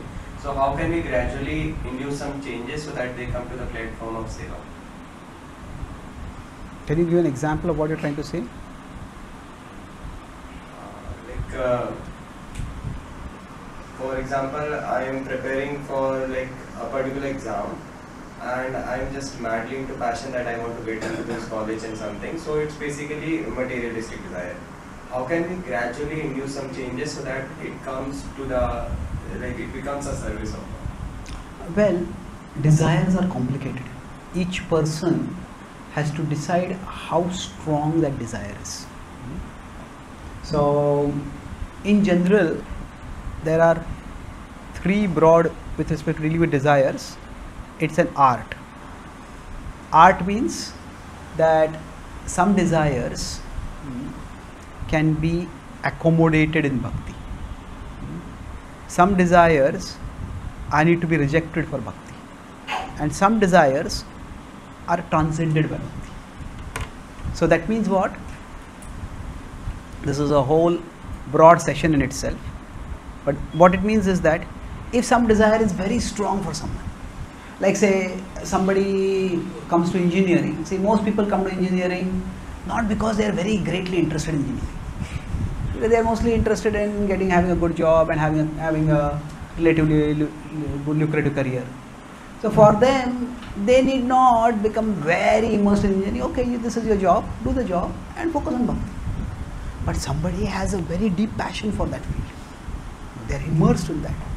Now, now maybe they can serve Krishna by becoming a engineer or a researcher or a scientist. And if, somebody wants to spectacularly success, succeed in a particular field, they have to be immersed in that field. But then at that time, so sinful desires, for example, they have to be rejected. Hmm? So desires involving, say, unrestrained sexuality or meat eating, they have to be rejected. But desires which are involving material ambitions, hmm, now some of them may be accommodated. So if somebody has a very strong material ambition for something, the important thing is you maintain the basic spiritual connection. That means we associate with devotees, we do some, uh, a basic level of sadhana, and then those desires we pursue. And we don't know whether they will succeed or not. But sometimes what happens is some desire, if it is very deep rooted within us, and if we don't pursue it, then that can cause a lifelong dissatisfaction to us. I should have done that, I should have done that, I should have done that. So each person has to weigh how much is the agitation. Like some people may feel, you know, pursuing this desire is so much trouble, just forget it. And you know, it's not going to give me much satisfaction, so why should I do it? But if somebody there's a deep longing for something within them, so not pursuing that desire can cause them far more agitation. And they pursue that desire, that's fine. So when Arjuna pursued archery, hmm, he pursued it with one pointedness. That famous incident when Drona asked all his disciples, What do you see? And Arjuna said, I see the eye of the bird. Now Arjuna didn't say, I see Krishna. Isn't it? So, why? Because, yes, ultimately that skill was meant for Krishna, But in that particular case, he has to say, I see the eye of the bird. That's what is required for the service. You know, if I got a somebody's got a heart attack, there's a devotee heart surgeon. They they do a heart surgery. What do you see? No, I see Krishna in your heart. well, okay, but do you see what needs to be fixed in my heart right now? Isn't it? so you see Krishna, that's wonderful, but you need to see what needs to be fixed over here. So some people are immersed in a particular field. Then they need to talk with the particular particular devotee guides and find out, you know, what level uh, of spiritual connection there is is like you could say that's fundamental, that's non-negotiable. And beyond that, they may focus on serving. Uh, they may focus on pursuing their particular career. So if we stay spiritually connected, then Krishna will gradually give us the realization by which we can actually uh, harmonize that particular desire with Krishna. Thank you. So transcended means this is like purification. So sometimes I may have a very strong desire, but as I keep practicing bhakti, that desire just decreases and goes away. So some desires, so like this, this is natural decrease. Hmm? This is conscious no, and this is like a planned, mm, careful yes. Krishna like Christians convert um, convert the most people for their religion, and same thing uh, we tra- we transform the people hearts. Uh, but we know that it is this knowledge is highest ordered and it should be given to the people. So does uh, uh, Krishna also thought also think that their knowledge is highest, and what is the dif- difference between them and us? Who thinks they are the highest? Christians think they are the highest. What are you saying? We Krishna? think that uh, Krishna, Yeah. uh, Uh, uh. Krishna consciousness is highest, it should Yeah. be given to the people. So what is the purpose of Krishna, uh, Christians to convert the people? Now, see, every religious tradition will think that their path is the best, and that's why they will try to convert everyone else. So now, our understanding, I was going to discuss this in uh, tomorrow's class. Let's this specific question about how to see different religions. We'll talk about it tomorrow. So, but their purpose of conversion is they believe that Jesus is the only way, and they are trying to save everyone. Of course, that's not the only motive. The, the, the religion is also gets mixed with politics and power and other things. So the ulterior motives also come up. So, but at their core, they are doing what they think is good for everyone. Now, are the method that they use necessarily good? Sometimes they deceive people. Sometimes they allure people. That's not good. But I, I so everybody operates according to their conviction. We'll talk about this tomorrow. Tomorrow morning session, 4:11 when we talk about it, we'll discuss this. Yeah, let's continue. Krishna, uh, uh, you said about don't get like disturbed by others, but uh, sometimes uh, like non-devotees like engage in some kind of quarrels or fights with uh, us, like us. So like we can get uh, like agitated, and he he can also cause like some kind of loss to us if we don't take some action. So like till what limit we should uh, See, when it says don't be disturbed, that is more talking about a mental level, don't get too worked about it. But at practical level, we have to take the necessary action. Arjuna doesn't think that don't be disturbed by others, that means, you know, Duryodhana has committed so many crimes, I will not be disturbed, so let us not fight the war. No. The point is don't be disturbed means don't be disturbed from our duties, our responsibilities. So if somebody is interfering with our responsibilities, then we have to deal with them appropriately. So, for example, you know, if we are we are giving a talk, spiritual talk, and somebody starts and creates a lot of disturbance, starts speaking noisily, arguing. Now we don't have to start yelling at them, but we may have to do the appropriate thing. You know, can tell them that you know, say you have a different view, and since you don't agree with this, there are others who have come to hear about about what the Bhagavad Gita teaches. So you can feel free to live. If you want to stay, please listen. Afterwards, we can have a private discussion. So we may have to set some boundaries. So when Krishna says don't be disturbed, it doesn't mean be men- physically passive. It says mentally don't get so consumed by it that you can't think clearly, that you can't act wisely.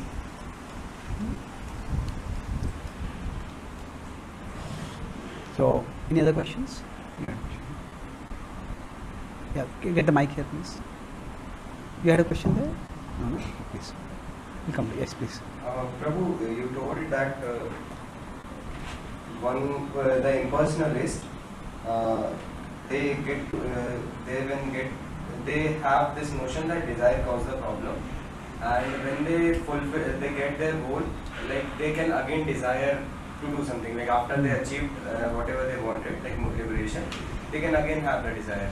But Prabhu, Now, who says this? uh, After impersonal, they can have the desires. No, that's not what impersonal is saying. They say just all desires have to permanently given up.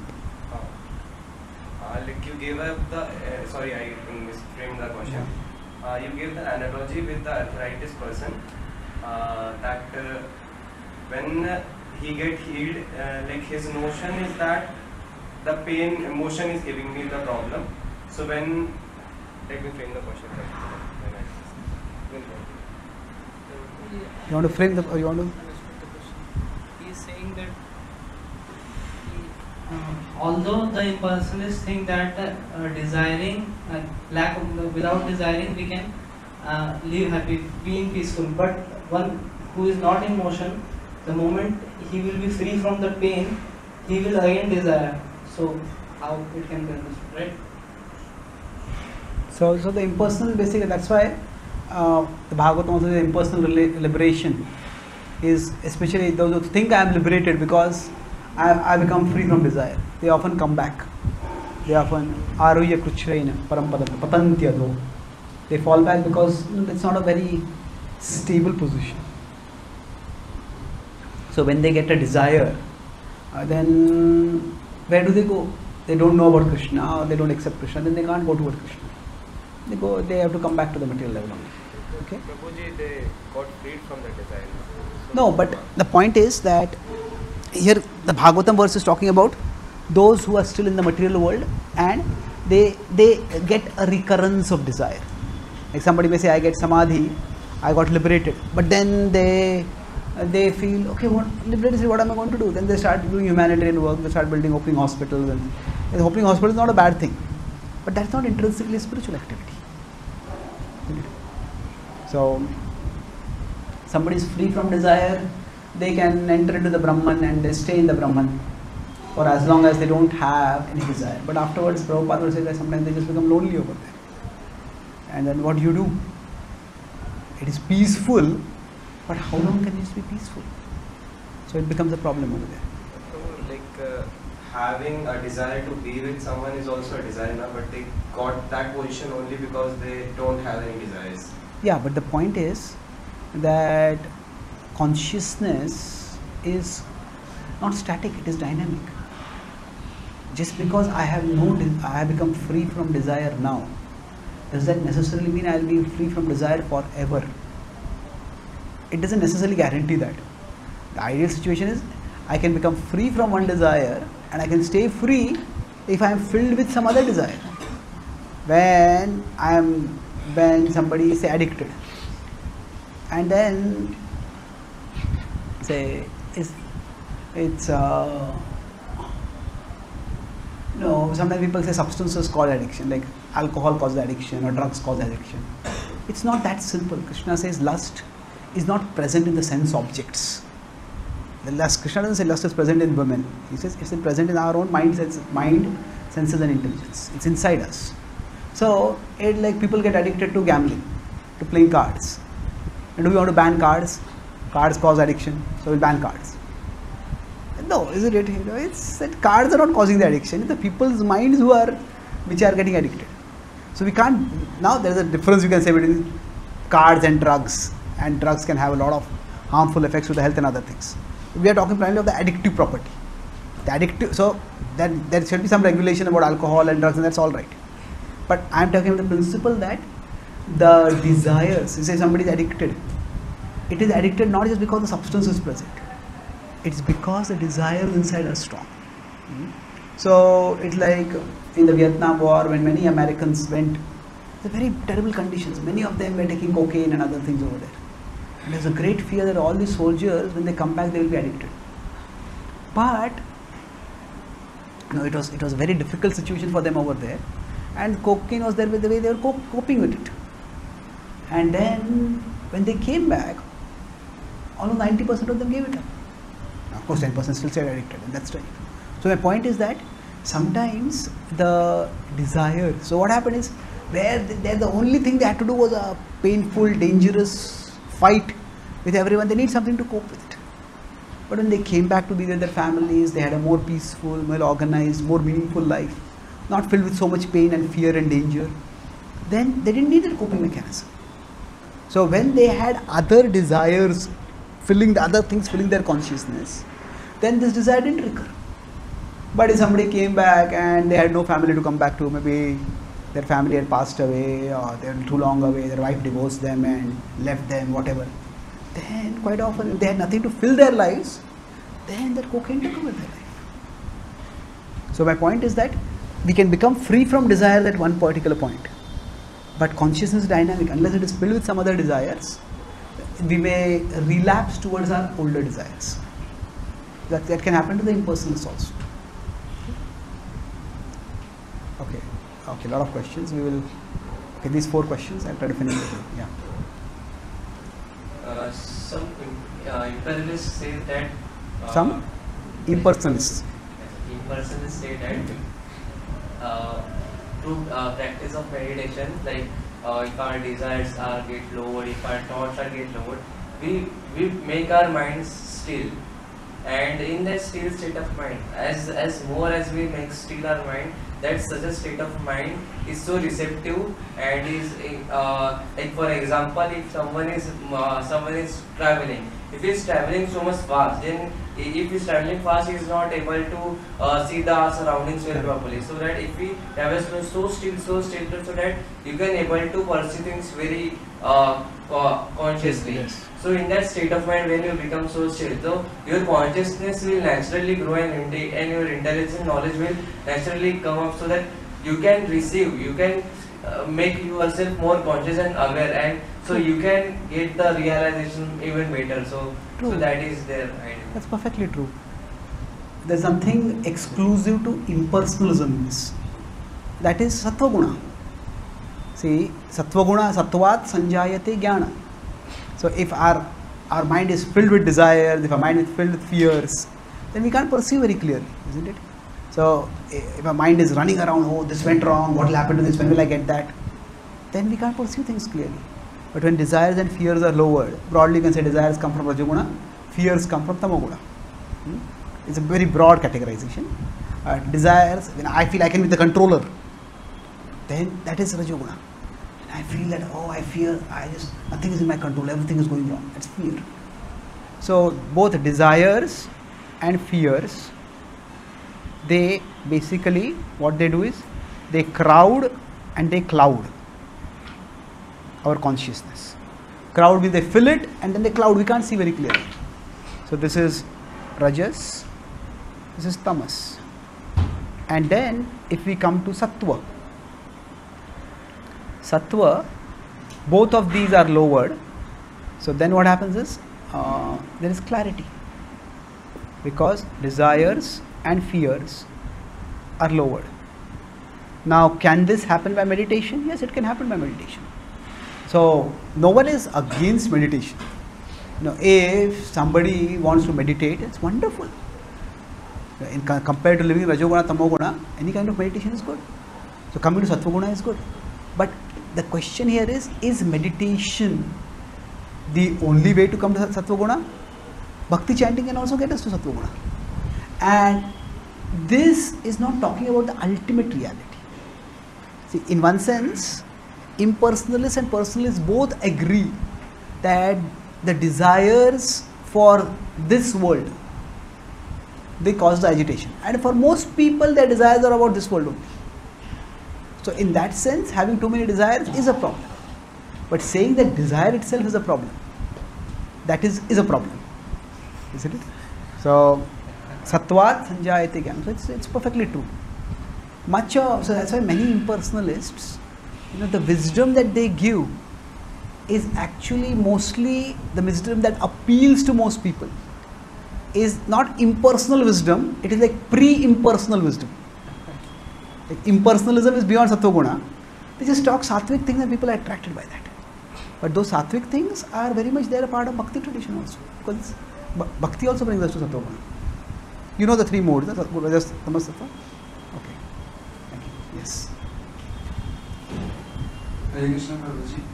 So, like uh, you have talked of the four levels uh, of uh, worshiping like Krishna. So, first is like mind and intelligence absorbed in Krishna, and second is mind fixed. Uh, we uh, uh, like we all uh, almost all like we are on the second level of worship mostly. Correct. So, like, what is the symptoms of first level, and how we should like approach to the first one, like first level. And Krishna says, if we try to fix the mind on him, by that, gradually, mam ichha tum dhananjaya.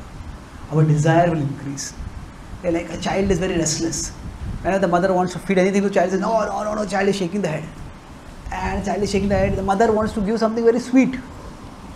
But the child thinks, oh, this is some bitter medicine, I don't want it. But somehow the mother tries to hold the neck and the child is shaking the head, oh no, I don't want it. But the mother tries to hold the neck and tries to feed still. And while the child is shaking the head, most of the drops are falling out. But a few drops go in. And the child is shaking the head. Hey, this is good. and slowly the child stops shaking the head. Ah, and more and more and more. so like that, you know, Krishna is like Sukhataram aparam na jane smarnamrutaina tulyam. Krishna is like a shower of nectar. But right now our mind is filled with so many desires that it's going here, going there, going there, all over. But somehow through it all, just a little remembrance of Krishna. If it just keeps going in, we'll start slowly realizing, hey, this is not all that bad. This is good. This is great. This is the best thing. so, and then gradually, so from that concentration to absorption. So, a concentration hmm, and absorption. It's a journey. So, concentration is basically at the level of intelligence. This is good. I know it is good even if it doesn't feel good to. Hmm? So, i- it feels good, maybe not. Hmm?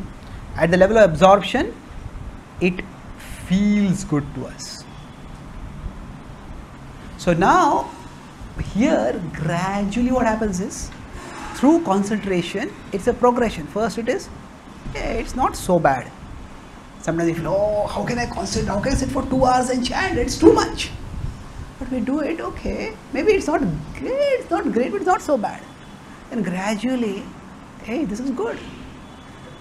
Uh, Then, this is great. And after that, this is the best. So gradually, our experience it evolves. So this will happen with time. Guruji, if a person is doing selfless service with bhakti, so in which platform he comes? He will come. What do you mean by selfless service? Like, like social services. And what do you mean by with bhakti? Like person is doing chanting and attending Mangalarti and also with that he is doing so- social service. See, at our level, connecting with Krishna is more important than worrying too much about which level we are connecting with. Isn't it? So, as Krishna says, yena kena prakarena mana Krishna. Somehow or other fix the mind on Krishna. So, it's, it's helpful to understand the levels, but we shouldn't be worrying too much. It like the analysis should be enhancing our devotion, not impeding our devotion. I was in Australia, I was giving a class, and there's one boy would come and sit right in front. But throughout the class, not just he would just look at me, not just stare at me, but glare at me. and even if there's some humor, the, it's like not even a smile would touch his lips by a mile. So, eh, the only way I can give a class over there is you know look at everyone except him. so then finally I asked the temple leader, says, why is he so great? He says he's like that all the time with everyone. And then finally I asked him. So he said, "Prabhu, I heard that if you do sense gratification, uh, you will fall into Maya. So he says, I'm afraid that my laughing is for sense gratification. so I am extremely careful and I have to be that grave so that by mistake also I don't laugh. now I say, you know, you are, you're not going and watching a comedy show or suddenly not obscene comedy show for laughing. This is within the ambit of bhakti. So you don't have to worry, is my laughter for Krishna's pleasure or my pleasure? No, just if it's a part of Krishna's pleasure, laugh. So like that, focus on connecting with Krishna and then naturally at what level we can connect that that will that will evolve with us the important point is to stay stay steadily connect with krishna okay. last question you had, you had a question also okay. Okay we'll discuss tomorrow we'll have question answer session later yeah please Could you explain text 12 to it's too complicated maybe we'll talk separately about it Prabhuji, uh, in, in Srimad Bhagavatam classes, I heard that the main emphasis in on bhakti is that it comes only from the mercy of pure devotees. But in Bhagavad Gita, I rarely find reference from Krishna that he says, please surrender to my devotees or associate with my devotees. No. Except one shloka like Tagviti Paripate. Why it is so? Okay. See, it's a good question. In see, each book has a purpose. So now the Gita's purpose is about which path to follow. Hmm? That is the primary purpose. Now, how to follow that is more of a detail that is only slightly mentioned in the Gita. The Gita is a book spoken at a particular time in a particular place. It's spoken on a battlefield. Arjuna lives in a spiritual culture. So, bhakti, jnana, karma, all these are known to him. So, Arjuna's question is not how to follow bhakti. Arjuna's question is what to do. That means which path to follow. That's why, in general, it's not only bhakti. This, as far as the specifics are concerned, Krishna doesn't give specifics of any other path, also for that matter. Now, how much does Krishna talk about the specifics of Karma Yoga? Krishna is talking about the consciousness in which Karma Yoga is practiced. How much does Krishna even talk about the specifics of um, Gyan Yoga? It isn't. So, the Gita's focus is is like you know. mm suppose the patient goes to a doctor and their discussion is okay i have got cancer. Now should i take allopathy? Should i take naturopathy? Should i take ayurveda? Should i take homeopathy? So at that time the doctor's focus will be on analyzing the various treatments not giving the specifics of each treatment. Okay that is the differences so books which are focused on bhakti will give the specifics of the path of bhakti. Okay? Thank you. Okay last question like you mentioned that disturbed and not being disturbed in that section ki, if you have a strong connection with krishna then like you will be able to do that. So could you please more elaborate on that like what do you mean by exactly by having a strong connection how can we cultivate? Okay, this is it's going to take a little time. I'll answer briefly and maybe then we can uh, discuss it later again. Mm, I'll give it without getting into specifics. I'll give an example. Say the the the world is a place of dualities. It's like a, if an, I'm an ocean and there are waves coming up and down. Now with the waves, I'll go up and down. So now, if you consider the dualities can come from things. That means that sometimes uh, uh, the weather is good sometimes the weather is bad. But the dualities that affect us more are what come from people you know how people treat me do people praise me do people criticize me? Are people welcoming or unwelcoming? So basically now if we are in the ocean and the waves are there then we will be tossed up and down by the waves but if we have an anchor that we can hold on to, then what will happen is if we hold on to the anchor, then the waves won't shake us so much. So our Krishna connection is like the anchor. And the more we are holding on to Krishna, then whether people respect me or don't respect me, that's not the most important thing. So in one sense, when Prabhupada was in India, in Vrindavan, he was respected. He didn't have followers, but he was respected. He's a sannyasi. People, people would respect him. People would bow down to him. People, uh, when he came to Delhi, there are so many uh, well-to-do people who would open their homes. You can stay at our home. They didn't want to hear his classes and be his followers. When Prabhupada went to America, he had to. Nobody respected him. In one sense, at least initially, he's a strange old man, and he's coming and staying over here. So, but Prabhupada accepted that. Because Prabhupada, he, for him, serving Krishna was the more important thing. Okay? So, thank you very much. Srimad Bhagavad Gita ki, Srila Prabhupada ki, Gaur Bhakta Vrinda ki, Jai Gaur Premanande.